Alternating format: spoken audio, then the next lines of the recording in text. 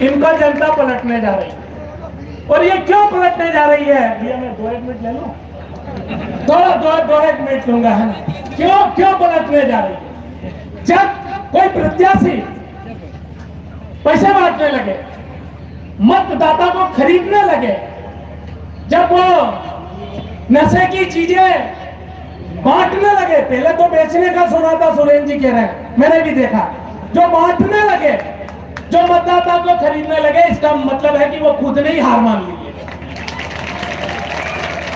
जो अपना उत्साह, जो पूरे शहर में और गाँव में जो मतदाताओं ने, जो इस लोकतंत्र के पर्व को मनाने का जो काम किया है और जिस तरीके से कमल पटेल के लोगों को खदेड़ा है आपने, मैं आपको नमन करता हूँ। साथियों, ये तीन दिन हमारे आने वाले हरदा का भविष्य लिखेंगे। हम राजनीति में क्यों आए हैं?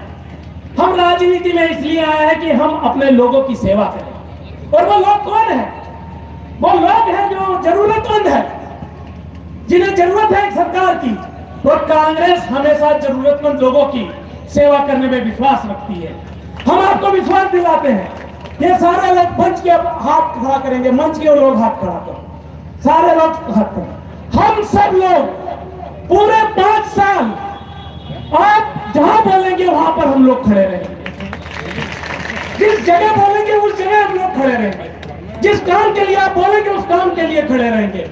और हमारे ये जो देवतुल्य, जो जनता है, जो हमारे परिवारजन है, इनकी सेवा करने के लिए हम एक भी कदम पीछे नहीं हटाएँगे। इसलिए आपसे मेरा आग्रह है ये तीन दिन ये तीन दिन आप कमर कस लीजिए। जहाँ ज़रूरत लगती है, हमें बताइए। मैं मालवा निमाल से आया हूँ।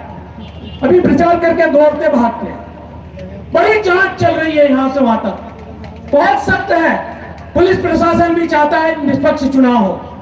प्रशासन भी चाहता है निष्पक्ष चुनाव हो। और साहब, अभी आप 145 का बता रहे थे जो पिछले दो दिन से जो हवा है मध्य प्रदेश में। आप विश्वास रखिए, हम एक सौ पैंसठ सत्तर पार कर रहे हैं।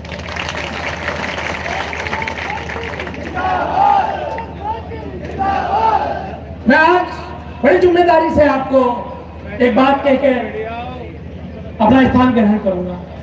मध्य प्रदेश में सरकार बन रही है ना? बन रही है ना? कितने के साथ बन रही है? 170 के साथ बन रही है तो अपने दौर में जी मंत्री बन रहे हैं। हम एक विधायक नहीं चुन रहे हैं। हम एक मंत्री चुन रहे हैं।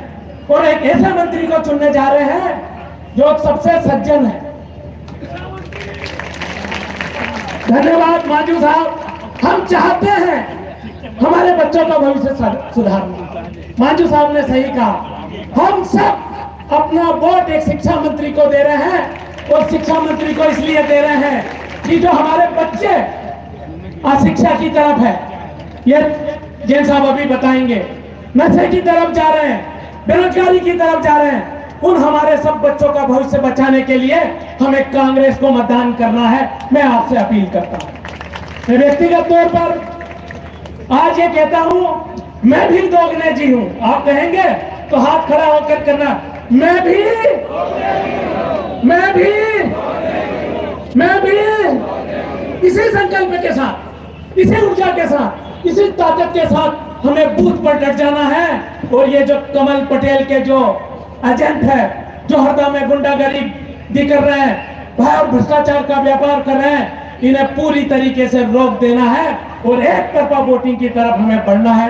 आप सबने मुझे सुना, मौका दिया, इसलिए मैं आपका आभारी हूँ। अंत में एक जोरदार नारा। एक कांग्रेस पार्टी। जोरदार जोरदार। अनिल भाई, कांग्रेस! पार्टी। धन्यवाद। जय हिंद, जय भारत। केदार भाई बोल रहे हैं, मैंने ज़्यादा समय ले लिया। मुझे तो ऐसा नहीं लगा। केदार भाई, धन्यवाद आपके उद्बोधन के लिए। अब अगले वक्ता के रूप में हमारे बीच में मौजूद मध्य प्रदेश कांग्रेस कमेटी के सदस्य, हमारे वरिष्ठ एडवोकेट दिनेश यादव जी को आमंत्रित करता हूँ कि वे आकर अपनी बात रखें।